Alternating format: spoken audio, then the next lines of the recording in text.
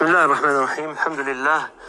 Uh, zojuist een uh, Oeigoerse broeder, uh, een student hier in Medina al-Munawwara, een zakat afgedragen vanuit de stichting, stichting Najiba.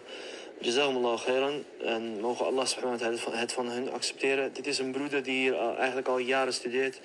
Inmiddels een masterstudent is aan de Islamitische Universiteit te Medina. En uh, ja, het is eigenlijk al een vader van negen kinderen, mashallah.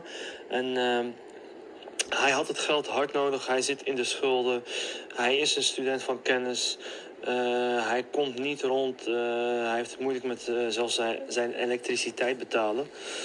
Want hij heeft dus veel kinderen. Uh, hij moet dus uh, zijn huur betalen en vele andere lasten. Hij kan niet terug naar zijn eigen land, zoals jullie allemaal weten. Dus hij kan daar ook niet even in de zomer een zomerbaantje. Ja, met, met een zomerbaantje een beetje geld verdienen en weer terugkomen. Dat kan hij allemaal niet. Dus alhamdulillah, dit had, had hij hard nodig. En daar heb ik dus samen met broeder Moerad voor gezocht, alhamdulillah. Mag Allah subhanahu het van iedereen accepteren. En uh, de broeder wil graag jullie allemaal bedanken en een dua voor jullie doen. Tafaddal. Assalamu alaikum wa rahmatullahi wa barakatuh. Barakallahu fikum, jazakumullahu khairan. Wa আসাল্লাহ মরাকুম আল্লাহ বারাকিকুম